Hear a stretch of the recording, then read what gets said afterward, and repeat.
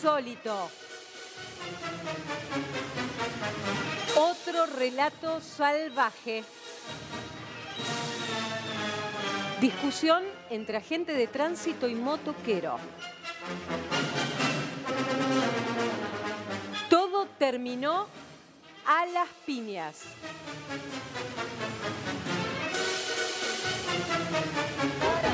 Está todo grabado. ¿Qué pasó, Belén? Parece, escuchamos un poco el audio que habla por sí mismo eh, del episodio. Bueno, calmate, te calmás, te calmás, Yo soy la autoridad en la calle, ¿qué hizo? ¿Qué hizo?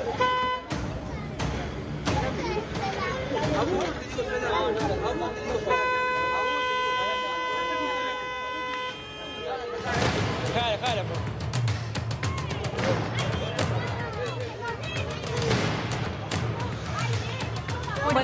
Sí. Salame? Le dice el inspector de tránsito que estaba ahí a plena luz del día. Justamente su función era ordenar el tránsito porque ahí, muy cerquita, estaba un colegio donde estaban saliendo los chicos Claro. al mediodía. Bueno, ahí estaba también el motociclista que estaba circulando en una Sí. moto sin patente y estaba a punto de hacer una mala maniobra y es ahí cuando el, el inspector de tránsito intenta frenarlo, ¿no? Sí. Y la situación evidentemente le responde de una forma que eh, no le gustó y la situación fue escalando en violencia el al punto tema- que se agarran a las piñas. Y el tema acá es también que el problema es que un agente de tránsito, como no tiene poder de policía y, es un civil que justamente está ordenando el tránsito, claro, ahí es de igual a igual que se agarran. Yo lo, que quiero, Pablo, Mm. en, en esto es también en todo este contexto que perdimos todos los valores, porque un agente de tránsito no deja de ser un civil, en Totalmente. definitiva. Por eso, una de las cosas que me llevan a, a oponerme al gobierno es el estilo violento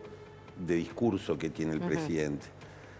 Cuando vos y yo éramos chicos, si nosotros nos dirigíamos a alguien como el presidente se dirige a quienes no piensan como él, mi mamá me retaba. Es decir, si yo insultaba a alguien porque pensaba diferente, eh, estaba mal. Claro. En la escuela me mandaban, me daban una amonestación. Digo, creo que estamos aceptando un nivel de violencia, como decíamos antes, en, nuestras en nuestra convivencia, Sí.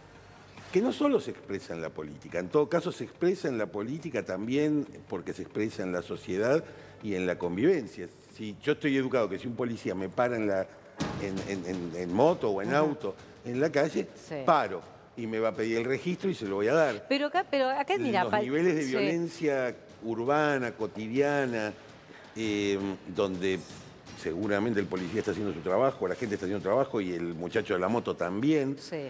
Pero la manera de resolver nuestros conflictos a través de agarrarnos a piñas, para mí implica un, un retroceso Sí. tremendo. Bueno, es tremendo. Digo, y esto eh, también viene en un contexto que cuesta llegar a fin de mes, que esto no viene pasando desde ahora, está claro, de falta de respeto a las autoridades y demás, y de un humor social que también en Constitución hasta ahora lo estamos notando. Emanuel, vuelvo con vos. ¿Cómo está todo ahora?